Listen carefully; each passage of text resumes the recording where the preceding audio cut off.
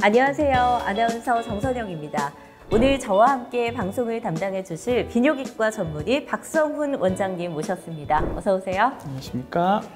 의학 논문 읽는 남자 첫 번째 논문은 어떤 주제로 진행할까요? 어, 첫 번째 논문은 이제 Journal of Sexual Medicine의 2014년에 나온 논문이에요. 네. 11월에 나왔었고요. 어, 뇌졸중을 겪은 환자들의 성기능, 그들의 재활에서 고려해야 하는 부분들 이런 제목의 논문입니다. 우리가 흔히 뇌졸중 하면은 이제 신체를 내 자유 의지대로 쓰기가 좀 어려운 상태를 말하는 것으로 알고 있는데 정확히 어떤 병일까요? 어, 뇌졸중은 뇌경색과 뇌출혈을 포함하는 뜻입니다. 네. 뇌경색이라는 거는 뇌로 가는 혈관의 일부가 막힌 거고 네. 뇌출혈은 당연히 그 혈관이 터진 거죠. 네. 그래서 원인이 어떻게 됐든 결국 뇌의 일부로 가는 혈액이 공급이 안 돼서 네. 그뇌 조직의 기능이 어, 일시적으로 저하되거나 아니면 영구적으로 손실되었을 때 우리가 뇌졸중이라는 표현을 씁니다. 어, 제가 참 조금 자료 조사를 해봤는데 우리나라도 뇌졸중 역학 보고서가 이제 나오기 시작해요. 네. 그래서 2018년에 연구된 건데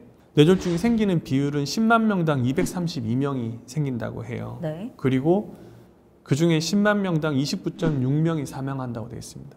232명 생기는 그 중에 29.6명 사망이니까 10%좀 넘죠. 사망률이 이 정도면은 굉장히 그렇게 높은 거예요. 높은 편인가요? 굉장히 높은 편이에요.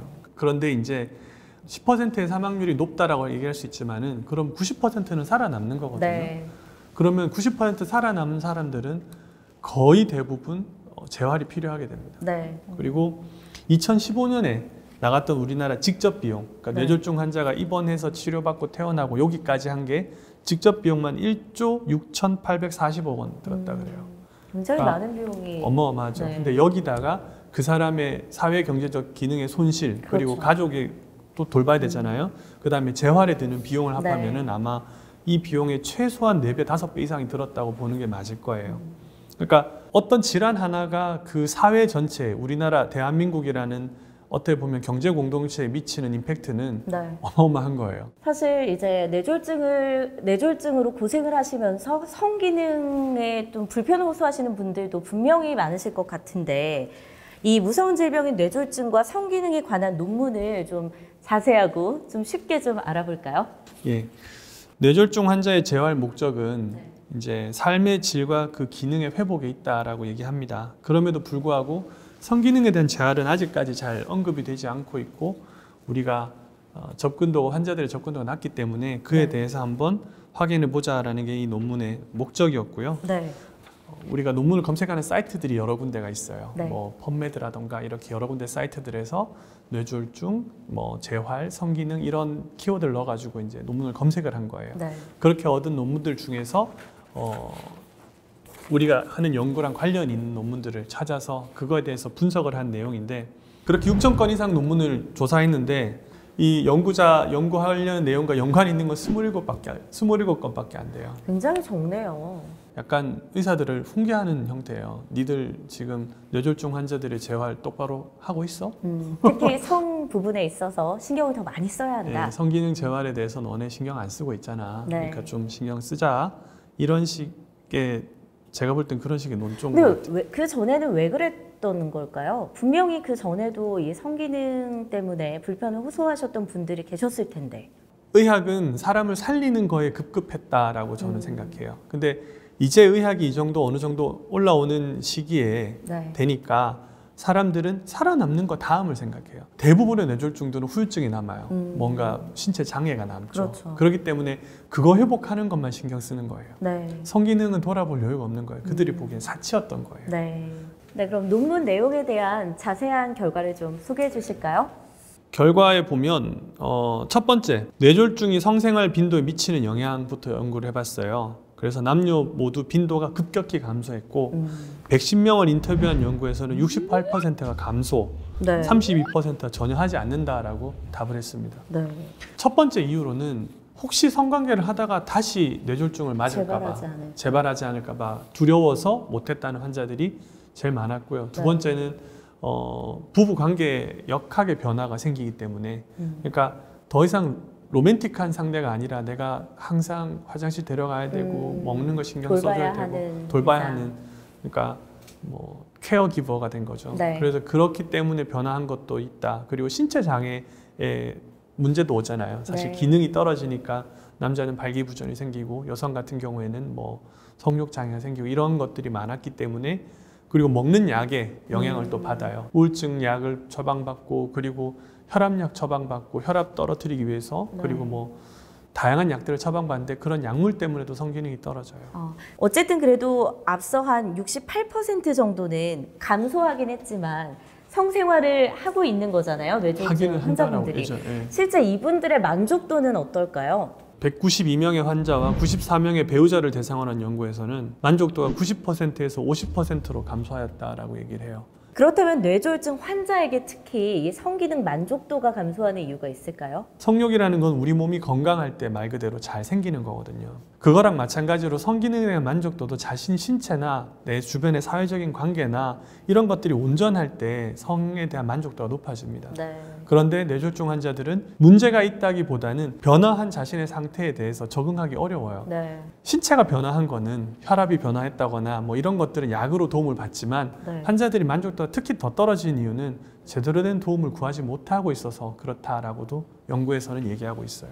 실제로 그럼 재활에 있어서 어떤 방식으로 재활이 진행되나요? 뭐 약물요법이 진행되는 건지 아니면 운동요법으로 할 수 있는 건 다 하는 거죠. 뭐 그리고 이 사람이 겪고 있는 그 뇌졸중의 장애에 대해서 어떤 형태의 장애인가에 따라서 물리치료부터 네. 시작해서 이제 움직임에 대한 신체 기능에 대한 재활이 포함될 거고요. 네. 그리고 언어 장애, 내가 말하기 힘들다, 혹은 어, 감정 장애, 그게 우울증이나 이런 것들이 있을 수 있겠죠. 그런 면에 부분 부분 재활이 다 음. 관여를 하게 됩니다. 근데 그런 걸 다 관여하면서 성기능 재활은 환자도 안 물어보지만 네. 환자가 물어보려고 하더라도 물어볼 때도 정확하게 없고 의사들도 그거에 대해서 의료진들도 언급을 안 한다. 음. 그게 이 논문의 내용 중에 하나예요. 그래서 그런 부분들 때문에 환자들이 조금 더 재활에 어려움을 겪는다라고 얘기를 해요. 네, 어떻게 보면 환자 입장에서는 어, 문을 두드리기도 사실 좀 어려울 테고 그리고 문을 두드려서 어렵게 비뇨기과를 방문해도 그에 대한 적절한 해답을 찾지 못해서 참 이중고를 겪으셨을 것 같다라는 생각이 드네요. 네, 제가 개인적으로 이제 좀 궁금한 것은 뇌졸중을 앓고 계시는 분들이 성생활이 사실은 거의 불가능한 것 아닐까요? 저희가 이제 재활의학과 강의가 거의 끝나갈 무렵에 선생님께서 수업 시간에 성관계를 하는 영상을 틀어주셨어요. 근데 그 성관계 하는 영상이 네, 일반인이 아니고 어, 정상인이 아니고 네, 그 경추 손상으로 사지마비가 온 환자였어요. 남성 네. 환자였는데 네, 그 사람이 자기 와이프하고 성관계하는 영상을 보여주신 거예요. 네, 그리고 그 끝에 후에 남편과 아내가 인터뷰를 해요. 네. 어떤 내용이죠? 내가 경추 손상이 있다고 해서 네. 남편의 역할을 못하는 것은 아니다. 그리고 아내는 이렇게 얘기해요. 저 사람이 경추 손상이 있던 없던 저 사람은 내 전에도 후에도 내 사랑하는 남편이었다. 음, 그리고 우리는 여전히도 어, 행복한 생활을 이뤄가고 있다. 장애라는 것은 신체의 문제지 그게 관계의 문제로 주는 것은 아니다. 네. 행복한 장애가 있어도 행복하게 살 수 있다. 그 내용으로 마무리를 지어요. 저한테는 엄청난 충격이었어요. 아유, 사실 우리가 장애가 있는 사람들의 삶을 일반적으로 잘 알기가 어렵잖아요. 들여다, 특히 성생활에 관련된 부분은 자세히 들여다볼 수가 없죠. 그들을 행복하게 살 수 있는 권리에 대해서 우리가 관심이 별로 없었던 거예요. 네. 뇌졸중 환자들도 분명히 성관계가 가능하죠. 네. 그리고 많은 경우 뇌졸중도 뭐 정도에 따라 다 다르니까. 근데 우리가 이제 논문의 결론 부분으로 들어가 네. 보면은 기능의 회복보다는 어, 이 사람이 느끼는 주관적인 감정의 플레저의 회복이라. 그러니까 즐거움을 느끼는 그거를 회복시켜 주는 게 중요하다라는 표현을 써요. 어, 안 되던 걸 꼭 되게 하는 것이 목적이 아니라 네. 이 사람이 행복하게 살던 삶을 회복하는 게 목적이다 이런 표현을 쓰거든요. 삶의 질적인 향상을 말하는 거군요. 그렇죠. 네. 뇌졸중 환자들이 겪고 있는 큰 장애 중에 하나가 정신적인 장애예요. 음, 우울증이 대부분 오는데 네. 성강 성기능 장애가 있는 사람들의 경우 네. 우울증의 정도가 성기능 장애 정도하고 비례한다고 나와요. 어, 그러니까 남자들이 발기부전이 이만큼 심하면 우울증도 이만큼 심하다. 성적인 문제가 어느 정도 해결이 되면 정신적인 우울증도 그렇죠. 어느 정도 해소가 된다. 전반적인 재활을 빨리 당길 수 있는 그런 요소가 된다라고 얘기할 수도 있어요. 네. 왜냐하면 사람이 즐거움을 되찾아야 삶에 의욕이 생길 거고 좀 더 재활하려는 의지가 생기는 거거든요. 그렇기 때문에 우리가 환자가 뇌졸중 재활에 관심을 가져야 된다라고 네. 하는 게 이 논문의 저는 중요한 내용이라고 생각했어요. 네, 뇌졸중 환자의 성기능 회복에 대한 중요성과 그리고 필요성에 대해서 설명을 해주셨는데 이번 논문의 결론을 짓는다면 어떻게 지을 수 있을까요? 논문의 이제 마지막 항상 우리가 나오는 내용이 고찰 부분이거든요. 네, 뇌졸중 환자에서 성기능 장애는 신체적인 장애, 심리적인 장애 및 사회적인 장애 등 여러 이유로 발생하게 된다. 그러나 대부분의 연구에서 성별에 관계없이 성기능을 회복한 환자는 성에 대한 그리고 자신의 삶에 대한 만족도가 높은 것으로 나타났다. 이렇기 때문에 의료진은 환자의 성기능의 재활에 관심을 가져야 하며 특히 기능보다는 즐거움, 그러니까 퍼포먼스보다는 플레저에 더 포커스를 맞춰서 재활을 도와야 한다. 사람은 자신의 역할을 다하면서 자신감과 자부심을 얻게 되고 이것이 삶의 질에 중요한 영향을 준다. 성기능의 회복 역시 마찬가지의 의미를 가진다. 그렇기 때문에 의료진은 환자의 성기능 회복에 관심을 가지고 먼저 물어보고 확인해 주고 필요한 정보를 제공해야 하는데 그렇지 못할 경우 환자가 인터넷에서 정보를 찾아보게 되고 네, 그 결과 불확실하고 근거가 없는 정보를 통해서 제대로 된 도움을 받지 못하게 된다. 현재 대부분의 환자들은 성기능의 회복에 대한 언급 없이 재활을 받게 된다. 네, 병원에서 퇴원 후 재활 과정의 초기에 성기능 평가 및 그에 대한 재활이 어, 필요하다. 이게 이제 마지막 결론 내용입니다.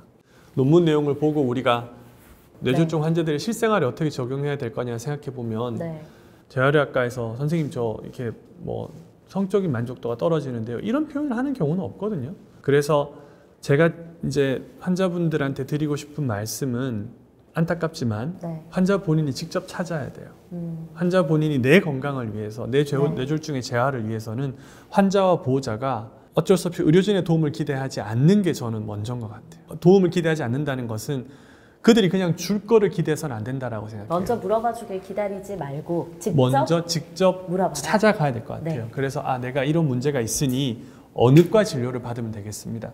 습니까? 살아남았으면 됐지 뭘 더 바래 그게 아니에요. 네, 살아남았는데 건강하게 살아서 이 사람이 이전의 삶을 회복하는 게 어, 행복하게 결국 살려고 하는 거잖아요. 그렇다 그러면 어, 환자들이 직접 찾아가는 게 좀 필요하다. 그게 제가 볼 때는 포인트일 것 같습니다. 네. 환자들의 적극적인 어떤 노력 그리고 마음의 용기가 필요하다는 말씀 해주신 것 같습니다. 자, 이번 시간에는 뇌졸중 환자들의 재활에서 성기능 재활이 중요한 이유에 대해서 논문을 같이 읽어봤습니다. 이 논문을 읽으면서 무엇보다 중요한 것은 환자 본인이 재활을 하겠다는 의지, 그리고 그에 대한 적절한 조력을 구하는 것이라는 생각이 드는데요. 뇌졸중 환자분들이 좀 더 빨리 신체적, 정신적, 그리고 사회적 회복을 이루길 기대하면서 오늘 이 시간 마치도록 하겠습니다. 원장님, 오늘 말씀 감사합니다. 감사합니다.